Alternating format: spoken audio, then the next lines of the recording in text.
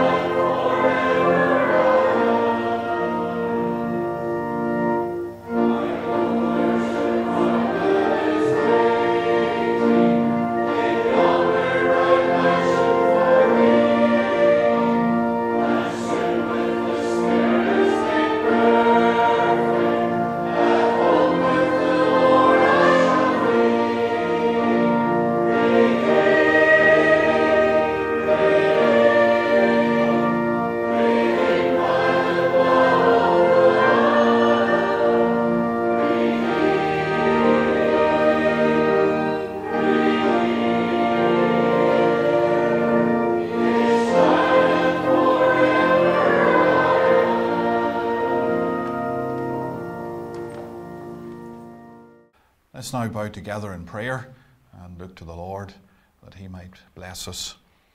Our God and Father, we bow this evening hour in Thy presence in the name of our Redeemer. We thank Thee for the great work of redemption. There is only one Redeemer, and that is our Lord and Saviour, Jesus Christ. that He is the one who came to pray, pay the price of redemption and give His own life, shed His own blood. And we thank the Lord that His life was given, a worthy life for an unworthy life. And we rejoice that there is redemption this night uh, through the blood. And we thank Thee, O Lord, that that payment that was made at, at Calvary when Jesus Christ laid down His life was a payment to redeem and to ransom the souls of sinners. And we thank Thee the debt was paid in full.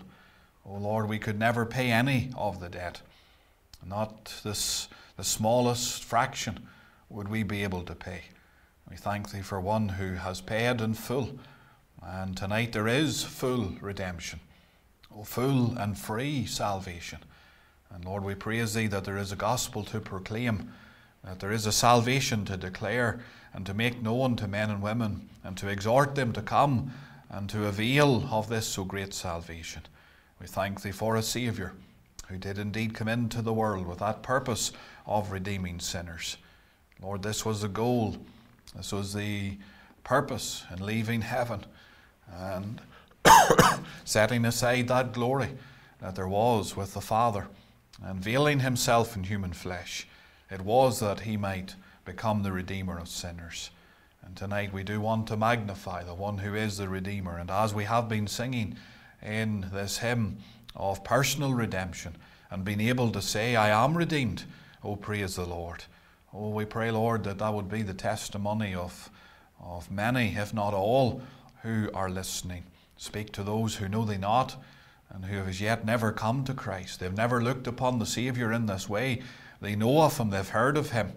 The, his, name may be familiar to them, but they've never come in faith to Christ. They've never looked upon him as a guilty sinner looking upon a Saviour and looking with the eye of faith, looking away to one who will, will forgive and cleanse and wash and make them ready for heaven. And we pray tonight, O Lord, that some soul will indeed look on Christ in that way. And they will see the beauty in him, the beauty of the Redeemer, the beauty of the one who was the sacrifice for sin, there shedding his own blood. So, Lord, do bless, we pray, and undertake, we ask, as we continue on before Thee this evening. Bless us as uh, we're gathered, wherever we may be. Let us know the need of every heart, and uh, every need among us, Lord, is is known to Thee. We take comfort from that, O Lord, and we would ask Thee, therefore, to uh, bless our souls and minister to us this evening as we're now before Thee. For we pray in our Saviour's worthy name. Amen. Amen.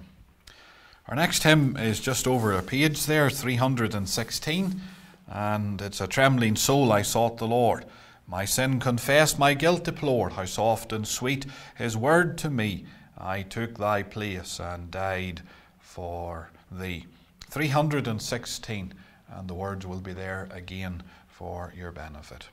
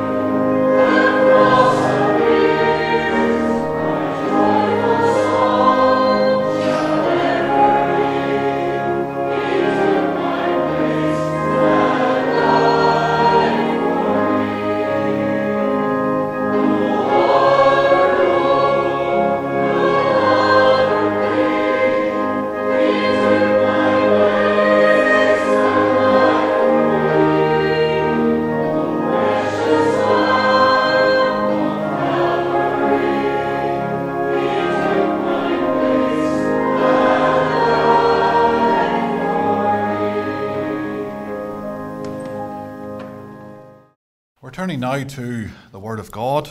John's Gospel, chapter 4, is where we want to turn to this evening and read the scriptures from. And we're going to read from the opening verse of this fourth chapter of John's Gospel. So, John's Gospel, chapter 4, and we're reading from the opening verse.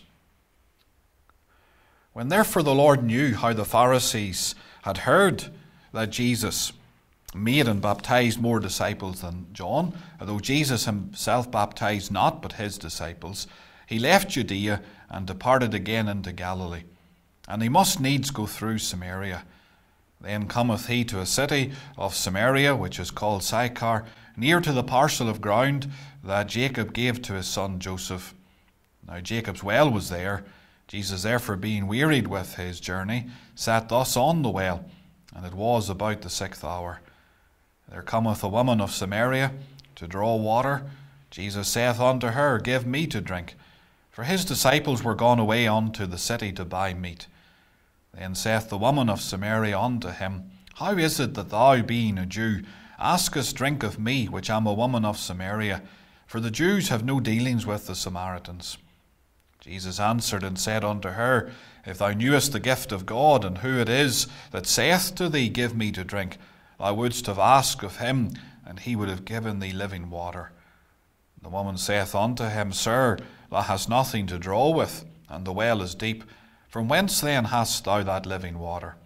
Art thou greater than our father Jacob, which gave us the well, and drank thereof himself, and his children, and his cattle? Jesus answered and said unto her, Whosoever drinketh of this water shall thirst again, but whoso drinketh of the water that I shall give him shall never thirst.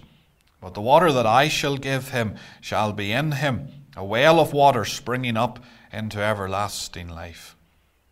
The woman saith unto him, Sir, give me this water, that I thirst not, neither come hither to draw. Jesus saith unto her, Go call thy husband, and come hither. The woman answered and said, I have no husband. Jesus saith unto her, Thou hast well said, I have no husband. For thou hast had five husbands, and he whom thou now hast is not thy husband. In that sayest thou truly. The woman saith unto him, Sir, I perceive that thou art a prophet.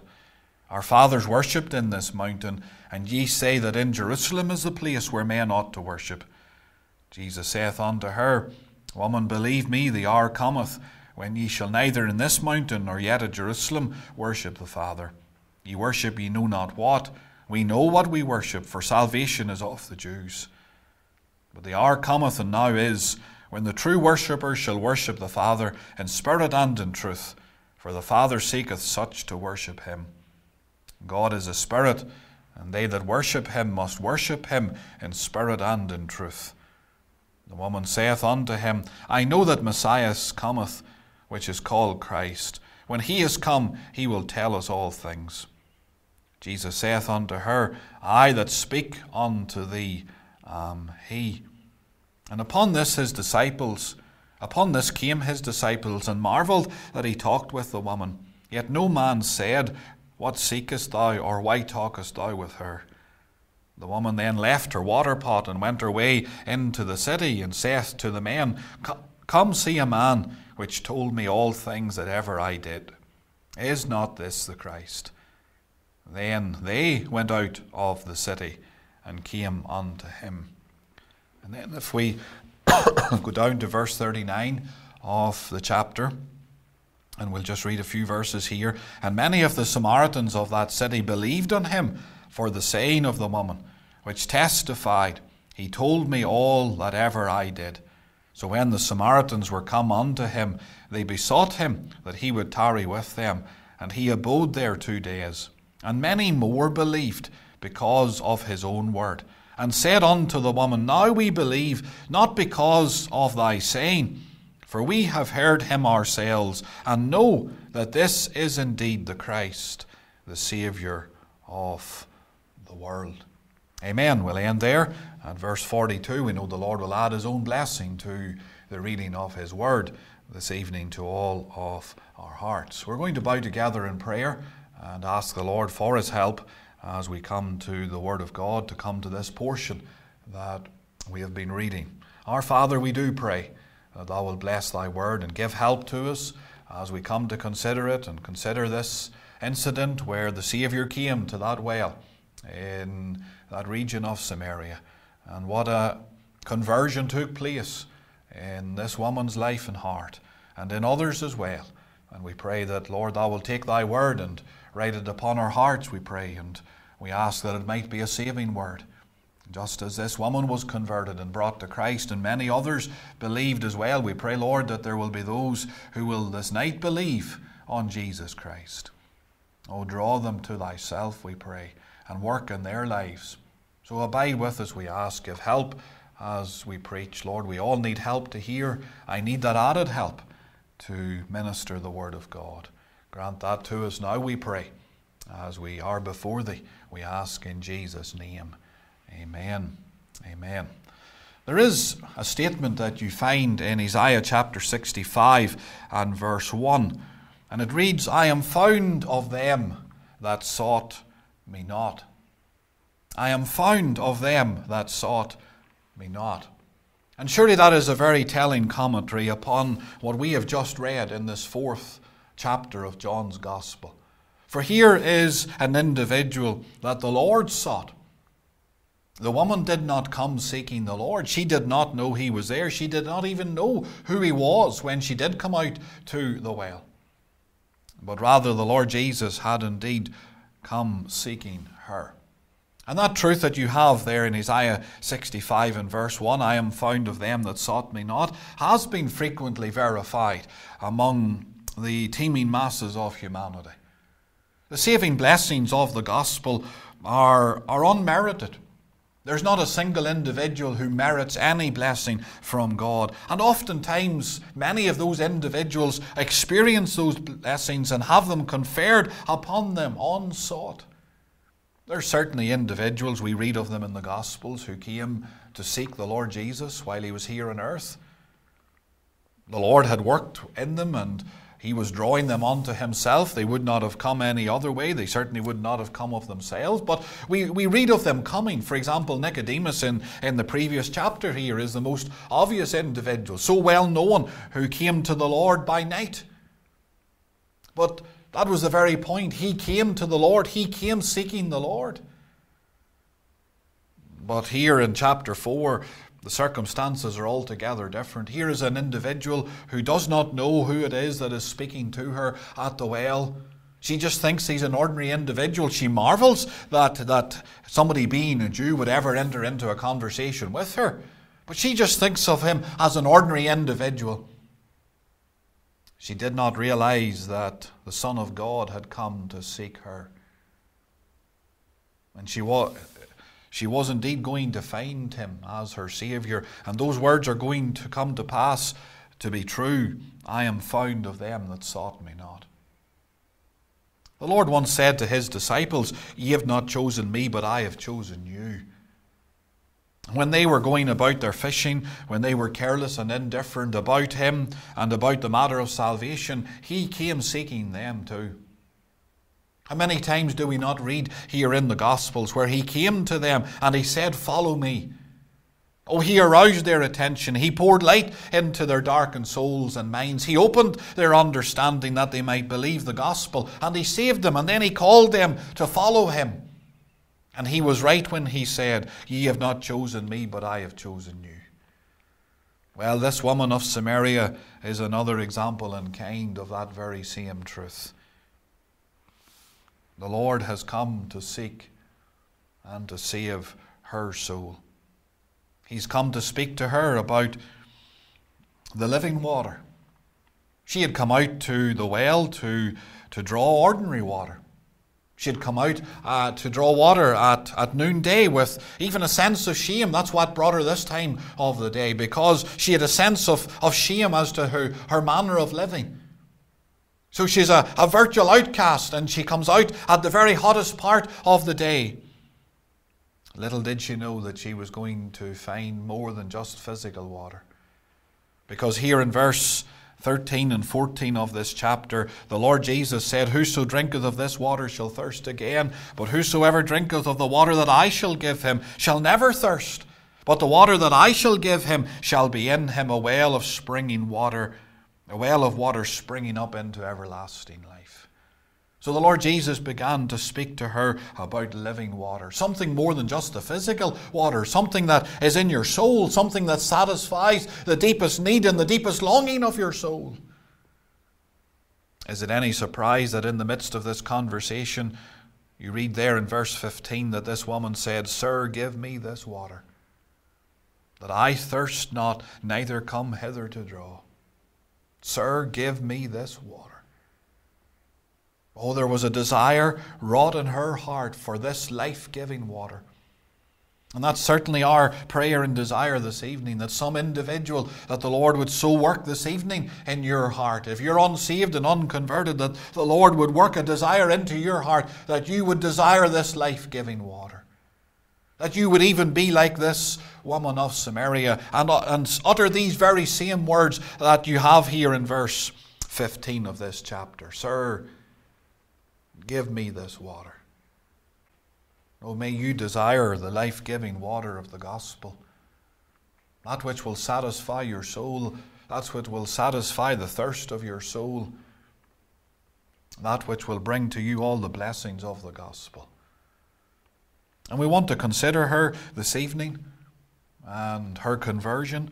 We want to add her to that uh, group of individuals we've been seeking to consider of late individuals who were strangers to the promises, aliens to the commonwealth of Israel, outside the company of the, the physical people of God. They weren't born children of Israel, they weren't born descendants of, of Jacob.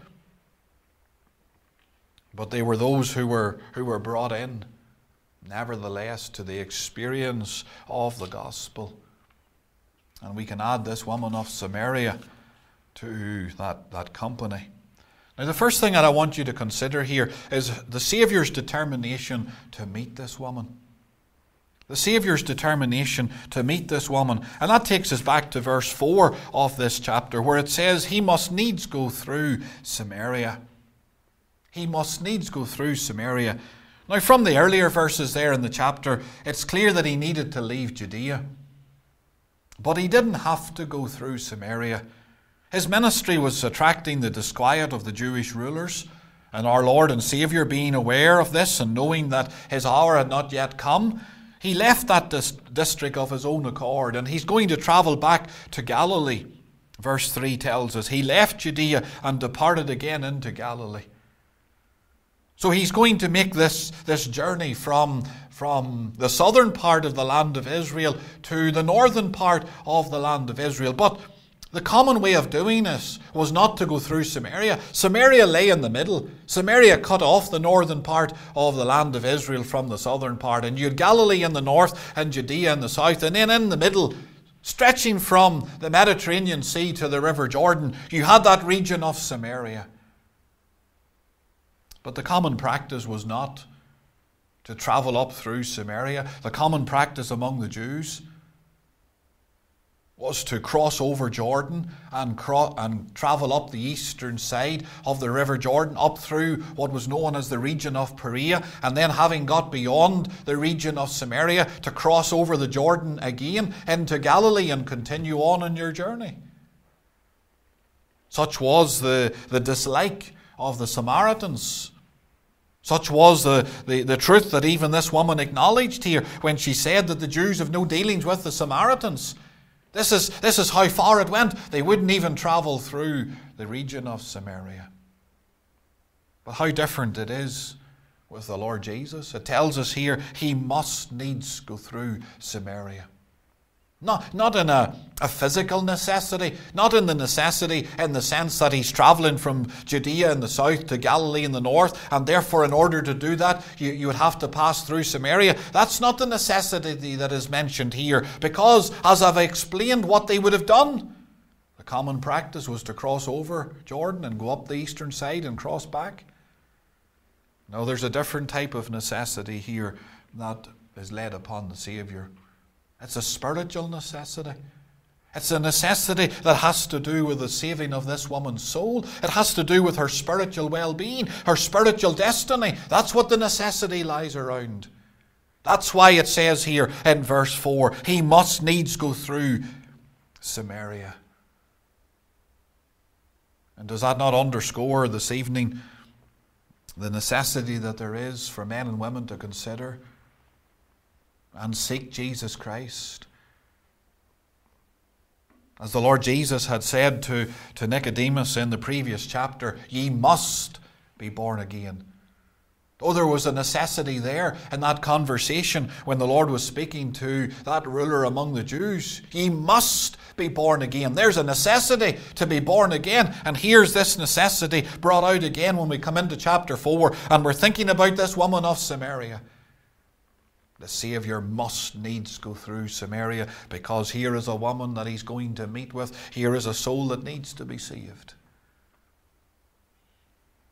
And my friend, may the Lord indeed press upon your heart this evening the necessity of getting right with God, the necessity of seeking Christ, the necessity of uttering these words in verse 15 that we have already drawn to your attention when this woman said, Sir, give me this water.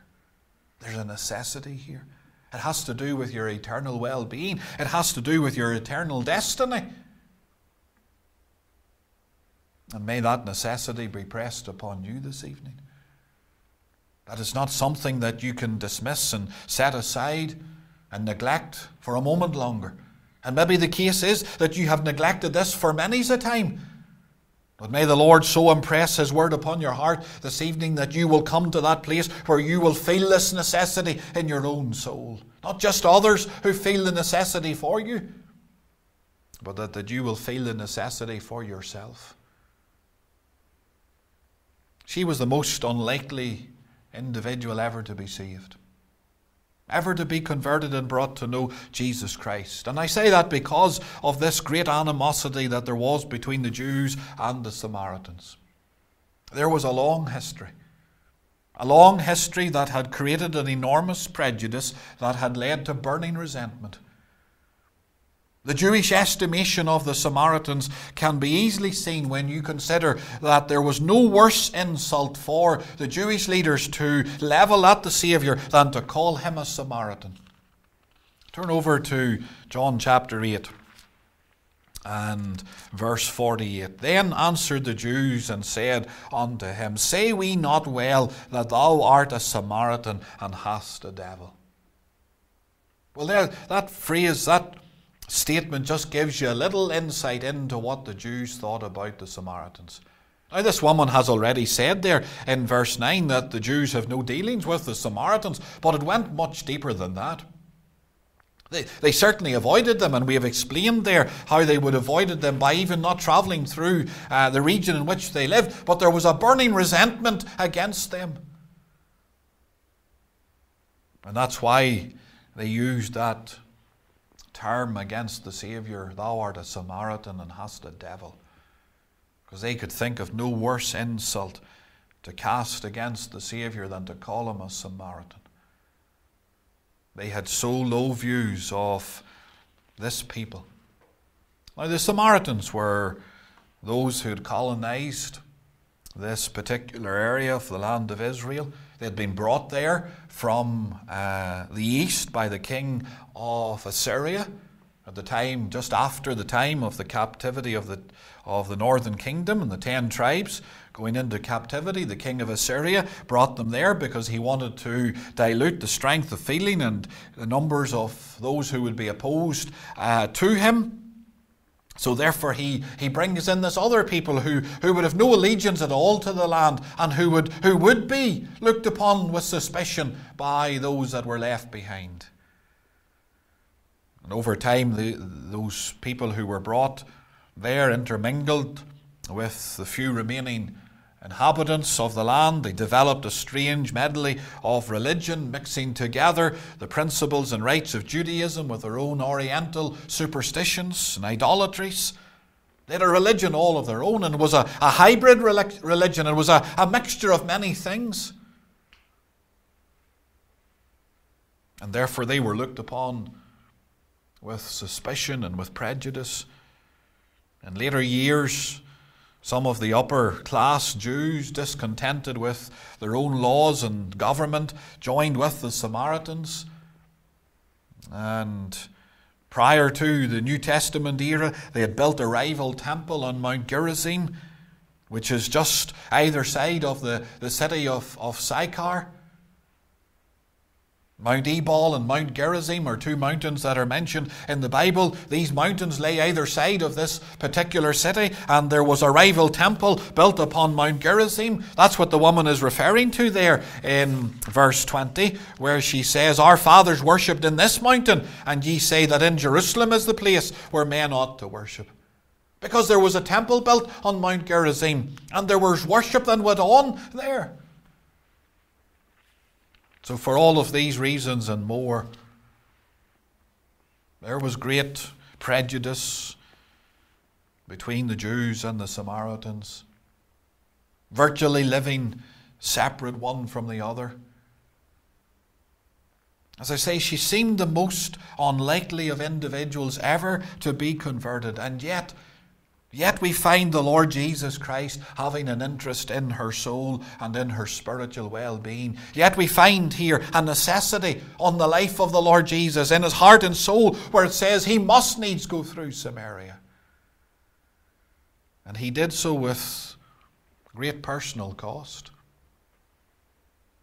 He's travelling in the heat of the day in order to come to this well at this very hour. He's weary. He's weary.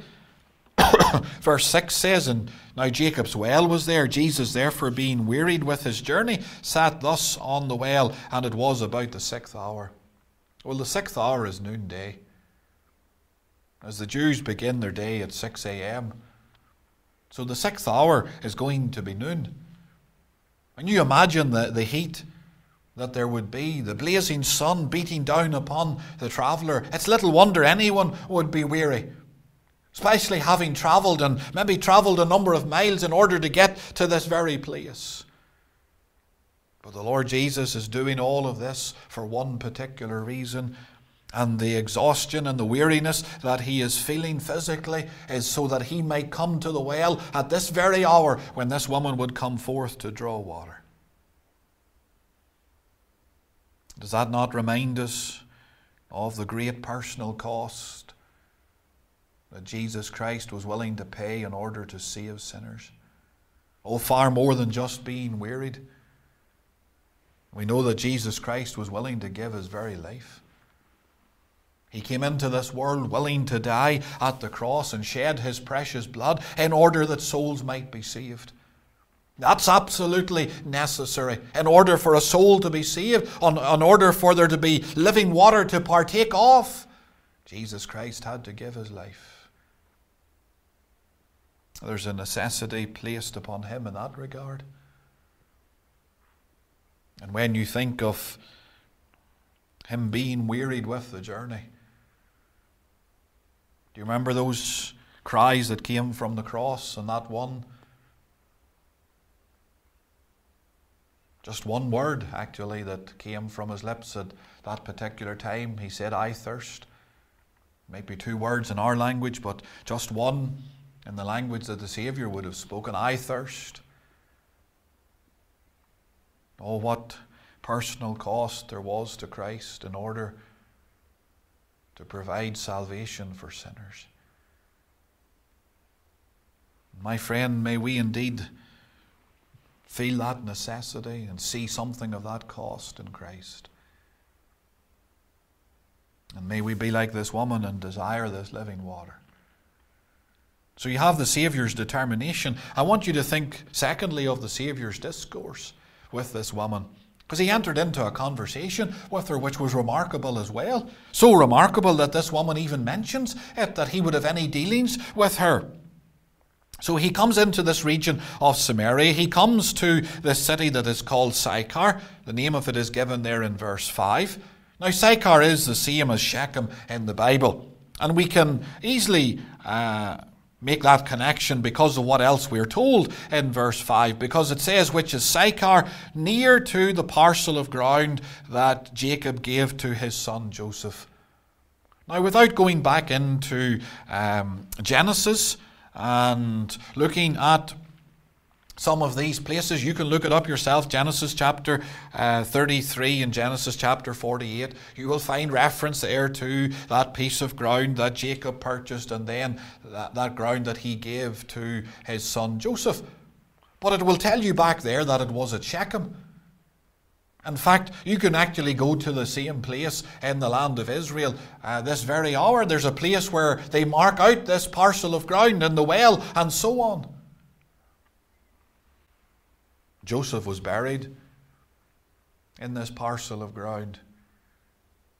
If you go back to the book of Joshua, as I say, we're not going to take time to do that uh, this evening, but I certainly would encourage you to look up those verses and, and just consider them for uh, your own benefit. Jacob, uh, Joseph was buried in this parcel of ground. Joseph was not buried with the patriarchs in the cave of Mel, uh, Machpelah which was down in Hebron, which was down in the southern part, down below Jerusalem, south of Jerusalem. Joseph was buried up here in Shechem, in this parcel of ground. But the name of the city here is called Sychar. Today in, in the land of Israel, it's, it's the city of Nablus. It's in the west bank in the land of Israel. It's, it's the chief city of the northern part of the West Bank. Hebron is the, the chief city of the southern part of the West Bank. But we're thinking about the northern part and the chief city there. Even to this day, it's a stronghold of the Palestinians who are bitterly opposed to Israel. Some things never change. There's this animosity that is here in John chapter 4 between the Jews and the Samaritans. Even to this day, there's that animosity that there is between the Palestinians and, and the Jews.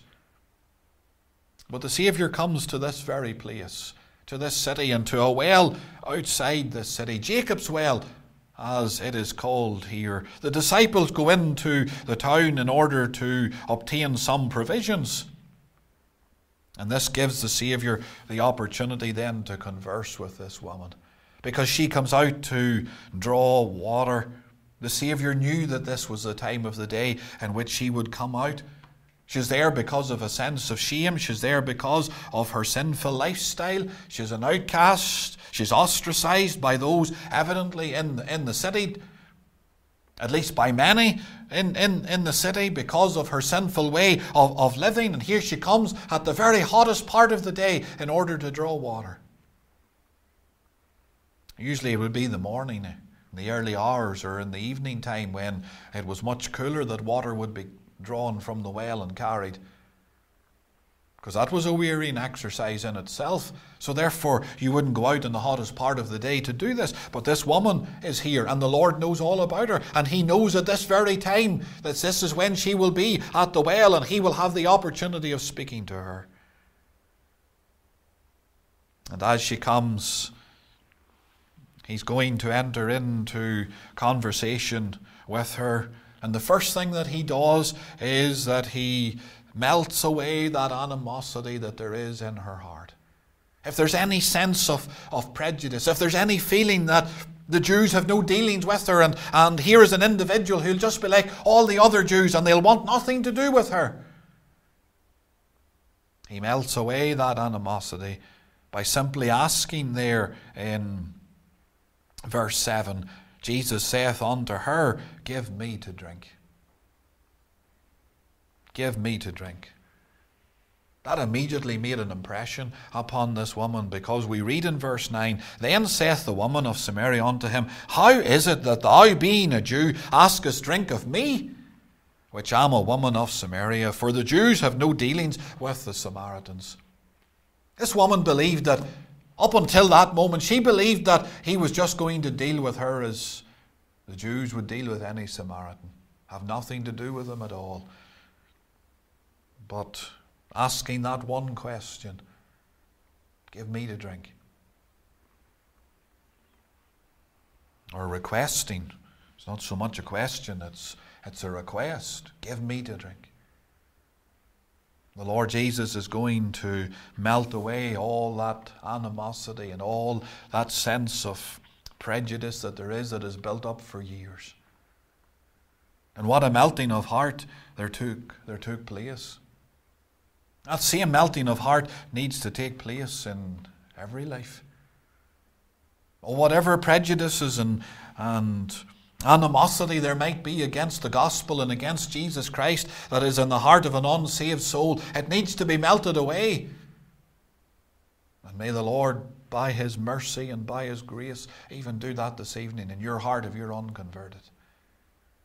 Whatever the excuses are, whatever the objections are, whatever it is you're hiding behind and, and using as a reason for not coming to know Jesus Christ, may all of that be taken out of the way this evening.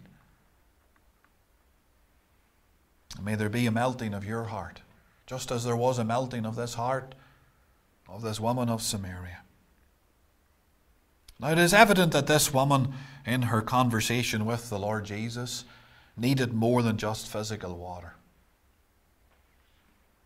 Her, her sinful lifestyle did not satisfy her. They may have provided her her sinful ways of living may have provided her with a, a comfortable life of sorts, but it certainly did not provide her with satisfaction. She's there as a thirsting soul. Not only is she there needing physical water to satisfy the physical thirst of the human body, but she's also there as a thirsting soul. That's evident from her speech. And her speech betrays her heart and betrays her real feelings. Was not what the little damsel said to Peter when Peter spoke? She said, It is your speech that betrays you. It's your speech that marks you out as being with Jesus Christ, for you're a Galilean as well, and you speak like a Galilean. Well, here's a woman, and her speech betrays her. Her speech reveals to us just what is in her heart and soul. Because as soon as the Saviour speaks of living water, she desires it. She desires it. Verses 13 and 14, you have the Saviour speaking about the living water. We've quoted them already. And then in verse 15, you have her reply Sir, give me this water, that I thirst not. Surely that statement on her part indicates that there is a thirst in her soul that has not been satisfied. If she was content with her lot in life and satisfied with her sinful pleasures, do you think that she would be asking the Lord for this water, that she would be bothered? That she would be interested in having a conversation with Him at all about this living water if she was being satisfied by the pleasures of the world? Does it not indicate to us that there's a thirst in her soul? And whatever pleasures she might pursue in this world, they're never going to bring any satisfaction to her. And my friend, you can pursue the pleasures of the world, but they'll never satisfy. They'll never satisfy your soul. The pleasures of sin only last for a season, the Bible tells us, and a very short season at that. They only last for a season. There's a thirst, and only Christ can satisfy that thirst. For he is the one who is spoken of here. He's speaking of himself. When he says here about the, the water that whoso drinketh shall never thirst again, verse 14 Whoso drinketh of the water that I shall give him shall never thirst. But the water that I shall give him shall be in him a well of water springing up, springing up into everlasting life. Well, the Lord Jesus is here speaking about himself and speaking about the gospel, the saving grace of God.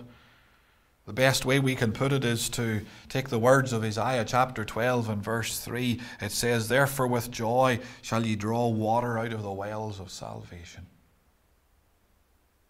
Therefore, with joy shall ye draw water out of the wells of salvation. And here's Christ speaking about the water from the wells of salvation.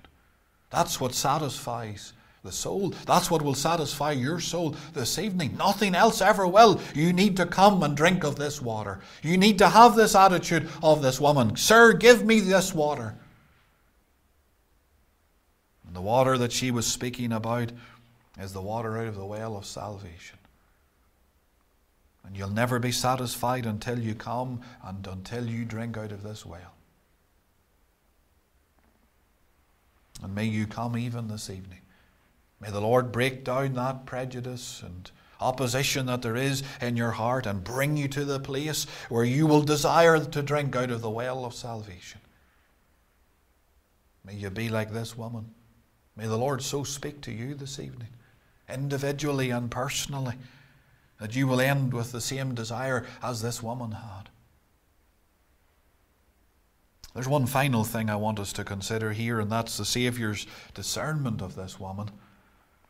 Because it was this discernment of her and her uh, circumstances in life that convinced her that he was indeed the Messiah and led her to believe on him and also to go and testify to others that she had found the Messiah. It was this discernment because she soon realized that she was uh, in conversation with no ordinary individual.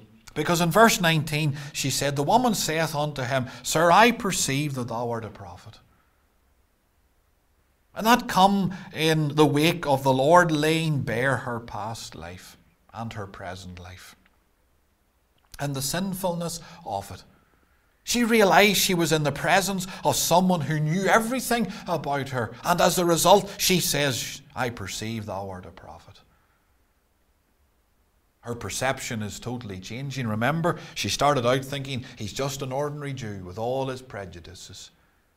She's surprised when he asks for a drink of water. Why would you ask me when the Jews have no dealings with the Samaritans? Her whole perspective now is changing with regards to this individual that she is engaged in conversation with.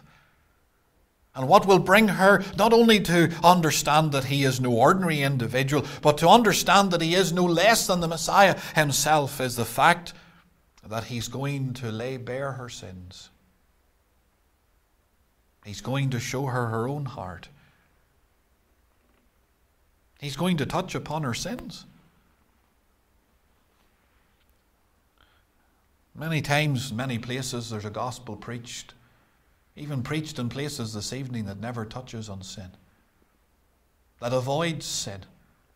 There is a gospel that is pre- uh, preached and a Christ that is presented to men and women, and it's got nothing to do with sinfulness.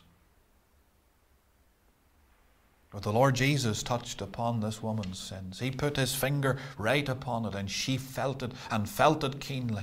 And it was that touch of, her, of the Saviour upon her with regards to her sins that made her sense her sinfulness and brought her to the place of believing.